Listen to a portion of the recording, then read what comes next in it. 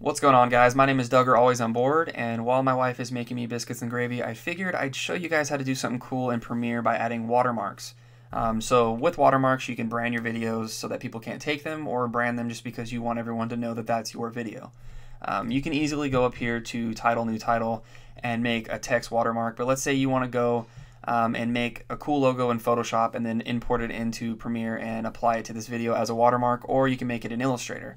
Um, there's two different ways to make watermarks, or I'm sure there's many more, but I use pr uh, Premiere, Photoshop, and Illustrator for most of my projects, um, unless it's video work Illust or uh, After Effects.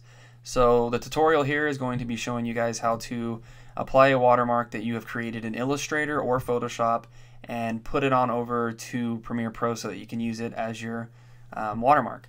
But the first thing that I wanted to show you is just the basic one, which is Photoshop.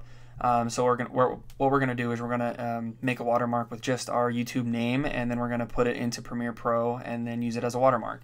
So we're in Photoshop. Go to File, New. Uh, 1280 by 720, resolution 72 because that is YouTube's HD. And so from here, um, I'm gonna make white text, so I need the background to be uh, black so that you can see it. So I'm going to duplicate this background layer that's white so that I can hide this one since it's locked and make some changes to this one. With this selected, um, you can see that your foreground color and your background color is white to black.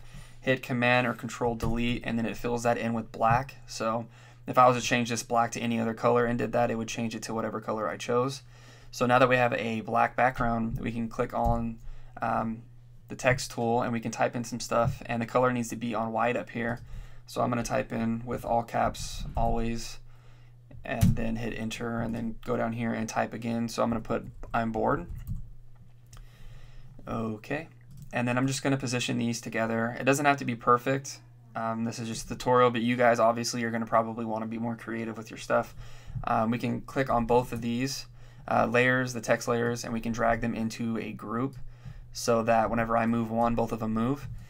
And so when we go back in here into Premiere, you need to know where you're going to be putting the watermark uh, just to save you some time. Um, and so right here I have Battlefield uh, gameplay and it seems like everything on the screen is pretty much filled up. The only place that we can put this is up at the top left so that it's not crowded around everything else.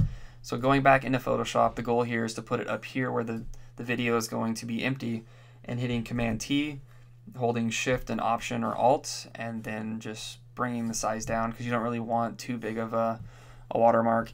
And I know that the spacing in between I'm bored isn't perfect, so you guys are probably going to have to go into the characters right here and then change the spacing in between the letters, but for tutorial sake, I won't be doing that. Um, so now what you want to do is you want to make it to where you save this so that the background doesn't show at all and the text does, and we're going to do that right now. I need to hide the background layer so that it looks transparent. Now we can go over to File, Save As, and then we can go down here to PNG because PNG makes it to where it doesn't fill the background in with any color so it can be transparent. And so now it's on the desktop. Let's type it in as AIBPS uh, yada.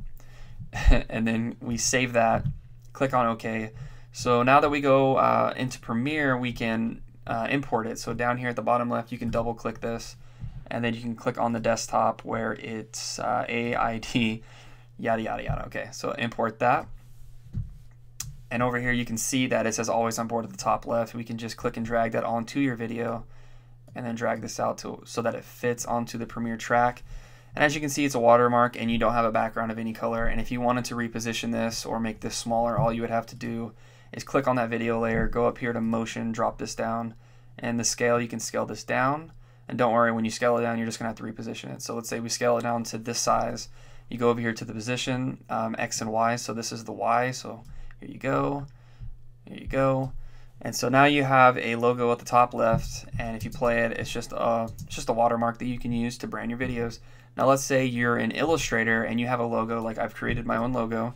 Um, let's say I want to put just this um, into Illustrator, same way that we did with the text in Photoshop. Um, let's say we go up here to File, and this time we're actually going to go to Export. It's not Save As because that just saves it as a document, but we want it as an image, so we're going to um, we're going to go down here to export and say we, we can do test 12 and then we can go to the format as PNG just like we did before so that the background is not there. And as you can see, uh, it shows you a little preview that you can make the background transparent. Um, so screen, um, 72, yada, yada, yada. And so we're going to have it on background color transparent, but you could put it on white and black if you wanted to, but this is a watermark, so we don't want that. Click on OK, go back into Premiere, double click this. Uh, we saved it as 1212, or test uh, 12. And then same thing, we just drag and drop that on here. Stretch this out, and obviously this is way too large. So all we have to do is click on this again, go up here to motion, scale this down big time. Let's say we want the watermark about that size, and then we can just move it around like we did the text. So let's say I want to cover that. There we go, that's a watermark right there.